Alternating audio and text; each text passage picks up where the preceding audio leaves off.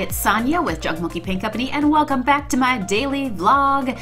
Today's video is one that you've been requesting. Earlier this week I showed you guys where I moved, moved some stuff, did some updates where I put this vintage white stand that I painted and next to it, do you see that plaid chair peeking right there? Well I got so many messages on how I created that plaid chair.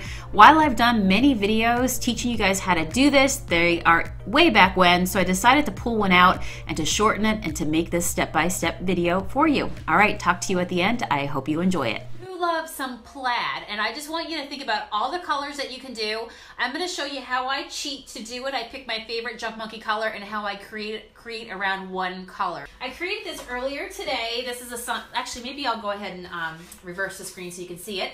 But I'm going to show you how to create like this plaid look and you can do it in so many different colors. I'll show you how I cheat, what my process is. Maybe everybody else has different ways to do it, but I'm just gonna show you mine because I think it could be really helpful. I have just got a piece of plank wood that's been sitting in my basement. You guys know I make use of all my scraps of wood and obviously I love to turn it into something else. Just cannot bear to throw it out. Anybody else like that? you hang on stuff to stuff and you go, I will make something out of that. So it's got like paint on it and stuff, maybe even footprints sometimes. But it's okay. Today is its day to get made beautiful. So when we clean the basement, I'm like, no, don't throw that away. Today I'm going to use my antique lace for the base. I have to tell you that when I want to create like bolder classic looks, I use vintage white. But when I want more cozy feel, that's when I grab from my antique lace, which is our, um, our off-white color. And actually there is some white on this, so you might even be able to see if I kind of put it dab next to it. Do you see the difference? That this is white and this is an off-white color. So next step, let's go ahead and grab some painter's tape. When you get painter's tape, there you stand there by all the bins when you go to like these stores and you're like, what do I need? There's so many different widths and they're good for everything, right? Lots of different projects. But for me, I like when I, this is the way I think about it, if I'm going to be doing a project that involves tape, um, like how wide do I want my plaid to be, okay? If I go smaller than this, then I definitely get more of a checkerboard, more of a style. But I like this, I mean, I'm guessing this is probably an inch and a half wide. What, what would you guys say compared to this one? You can see the difference, right? So this is more chunky, but if I had a big tabletop, maybe I wanna do big chunky um, squares. So just know that the thinner the smaller your squares for your plaid will be, the wider, the more chunkier. Just go somewhere in the middle. You know, if you really want to measure it out, you can. For me, I am just an eyeball it kind of person, so I am going to eyeball it and just stick it down in the middle, okay? So I try to always to remember that when I do my plaid, start in the middle. This is like one of the best tips I'm going to share with you guys on here today. Take your tape, another piece, and that can be your guide. So these are my, my guides. And so now, they're my guys too. They're my guys, man, they're helping me out. So now I can take and make my next line by using those taped pieces. Take my two guide people off right there. They can have a break, go have a snack. Now make sure that your tape's down good.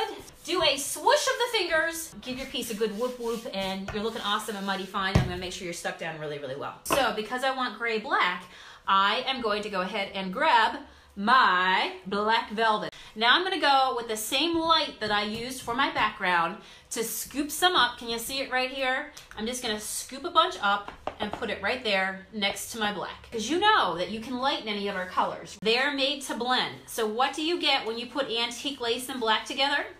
We get gray. Now what I'm gonna do is just go ahead and paint in between the lines.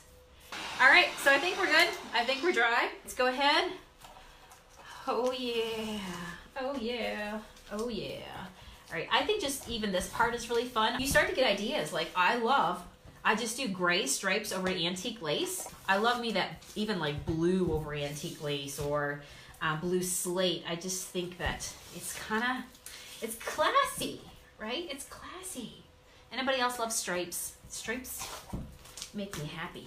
Okay, so now what we're gonna do is grab our same tape again, and this time we're gonna go in the opposite direction, okay? In the middle, pretty much there, pretty much there, that's about it.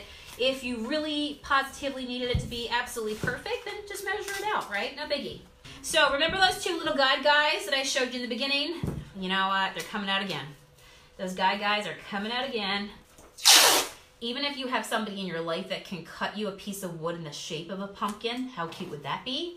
I also love, well, I mean, you just saw how to do stripes. That was a good tutorial on how to do stripes if you just want to do a buffet and maybe you just want to do the inserts in the door uh, with some stripes on it or across the top. Or you want to do uh, an entire plaid look right across the top of your TV stand.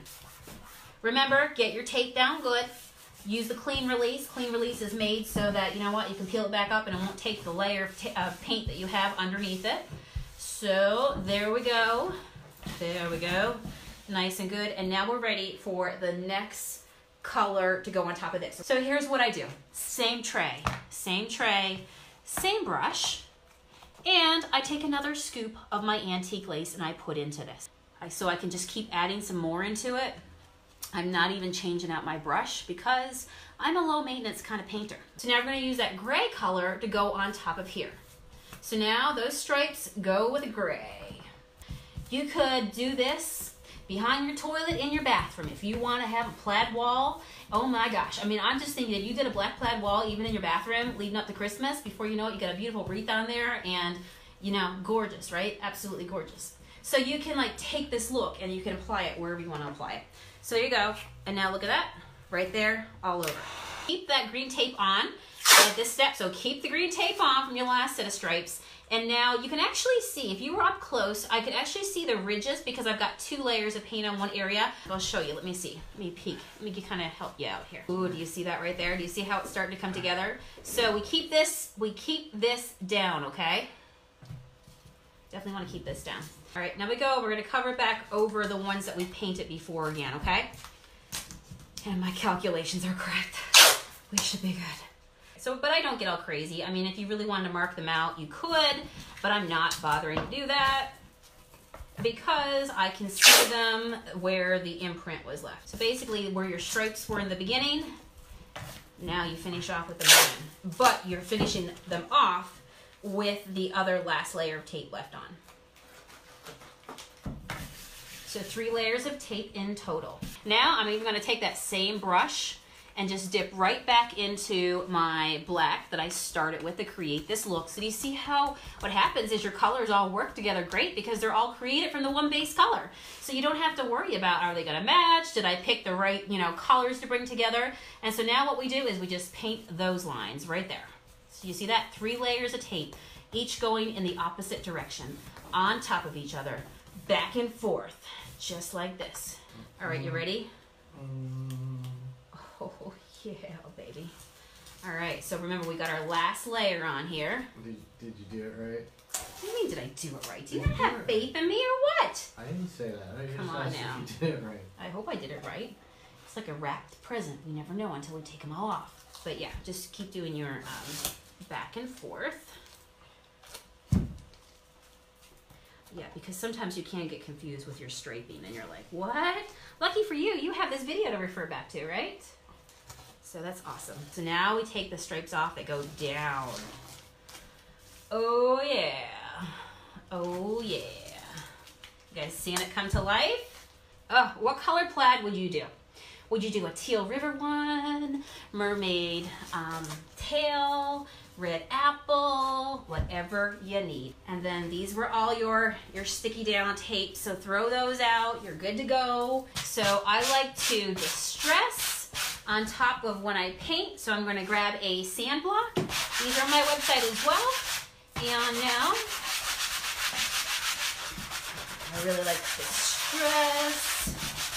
So now what I'm going to do is grab my same brush. You guys know I love to do edging and antiquing. So I'm going to show you what I would do as well if I turn this into a sign. Because I just don't want these um, edges to just feel like kind of just open and like little, not so cozy, you know? Plaid is definitely has a cozy feel to it. So I'm gonna go ahead and take my, uh, in this case, over here I edged in our candy bar brown and I splashed some on the edges of the lettering here as well. And now I'm gonna do the around the edges with black on this one because this one's done in a black and gray look. Let's dry that. So you can pull in, by the way, you can pull in, you can start like to pull your brush over the edge of it just to kind of like pull it towards the center and you'll get some of those really cool brush marks. This is really good if you love rustic and you really want to play it up. I'm to go ahead and use Monkey Shine, which is our all-natural um, beeswax polish sealer, and my brush. And now we make it pop. Oh yeah.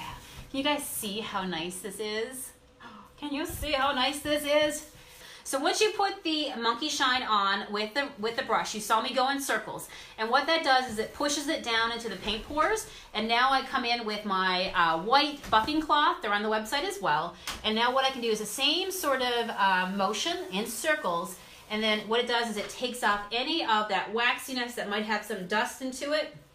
And uh, I turn my rag over and I will go at it again, okay? And my sides aren't quite dry yet, so I'm not gonna Typically I would go over the edges as well, but just for this purposes, we don't have to worry about that. And look how nice that came out.